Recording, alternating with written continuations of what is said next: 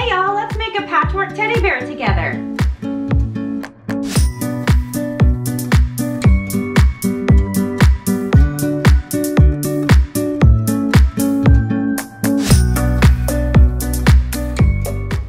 Hey y'all, I'm Gina Tell. Welcome back to my channel. Today we're going to make the patchwork version of my new Teddy Tell pattern.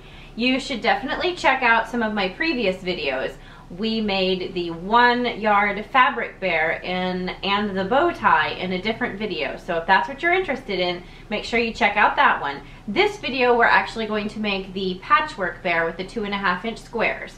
So I am going to use the Lighthearted, the, the new um, charm pack that I just got in the Fat Quarter Shop Sew Sampler box. This is a Moda fabric and so I've already cut them. So I have we need 234 two and a half inch squares. And so I've already cut those and we're going to sew them together and I'm going to show you how to make these adorable patchwork bears. So what we're going to do is on the first section we are going to just make it scrappy. So we're just going to pull from, usually when I cut up a collection and it kind of comes in colors, I usually sort of try to separate them a little bit. For the first section, we're gonna cut on your pattern. If you're looking at your pattern, you want to make a piece A piece. You're gonna make four of the A pieces, and that's four rows across and four rows down.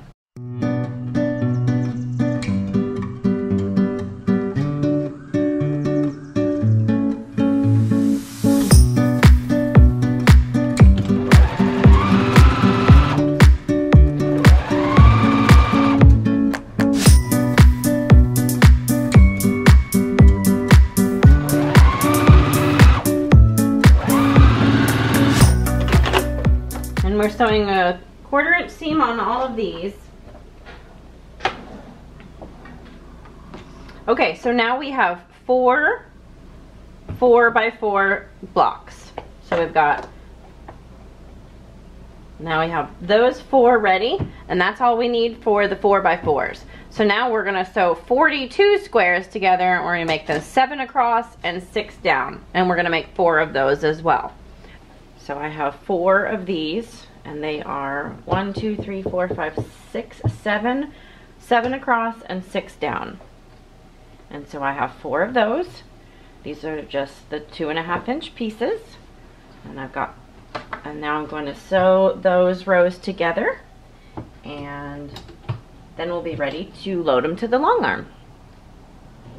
Okay, so I now have four of the four by fours finished and they're pieced together and now I have three of the seven by sixes and so I want to make sure that I note that under normal circumstances when I would be making a piece like this I would make sure that my blocks all matched and my my you know I nested perfectly and I'm kind of a perfectionist. But for the bears I think everything goes anything goes um, these, uh, there's definitely some that there's spaces and they don't match up. I almost kind of think they look cuter when they're, because when you put the bear together, there's, you know, you're, you're getting little pieces of all your blocks and they're not necessarily square when you're looking at it anyway. So, um, so I did just want to make a note that just get your pieces together. Don't worry too much about perfection when you're doing this because your quilting is going to make things look differently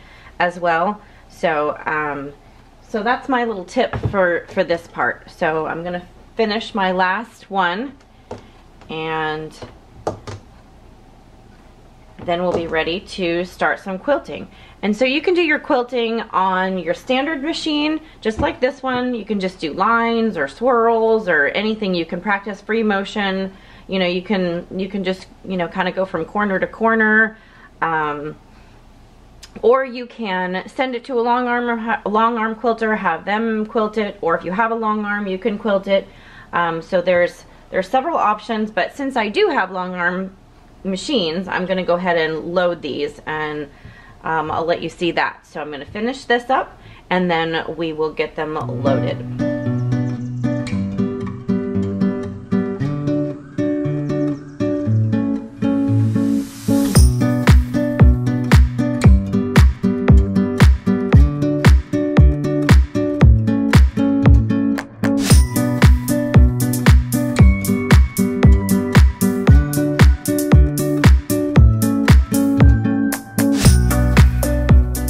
Okay, here's another little thing that I am going to mention is in the uh, pattern, I do note um, that there's a tails tip to make sure that when you're attaching your piece at the top to the piece at the bottom, the A to the B, you might want to make sure that this general area right here is going to be a lighter color. If you're using really dark colors, you want to make sure that you're using a lighter color if you're using the black eyeballs like I use.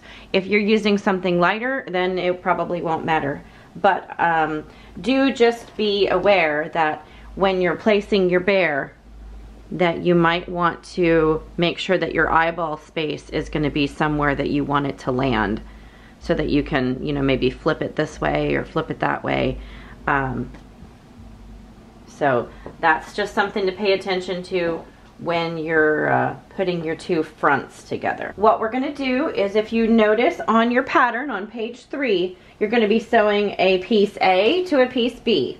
And you're going to put the four by fours up here and then you're going to put the six by sevens down below and you're going to sew those two pieces together. So they're going to sew this way and then you're going to sew them like that and you're going to want one, two, three, four, five, six, seven. You're going to want it to go seven sideways so that you've got them the, so that they're nice and wide. Then you're going to take your template that we cut out on muslin and then you'll be able to quilt those and then once they're quilted you'll be able to trim out your pieces and then you'll have two mirror images of your front.